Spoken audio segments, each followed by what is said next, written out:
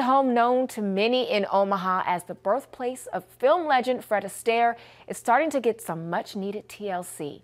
Volunteers were out today doing yard work. It's part of a bigger project to restore the Fred Astaire house. Within the last year, those involved in the 1880 House nonprofit raised enough money to acquire ownership. This house represents how the average working family would have lived in 1880, 1890. This is what have been how a working family would have lived. We think that is as important as the fact that Fred Astaire was born here. So we want to preserve this so we can share with the public how a working family would have lived in 1880, 1890. The end goal, once the house is restored, is to open it up for tours. May 10th, they'll be hosting a celebration at the house to mark Fred Astaire's birthday.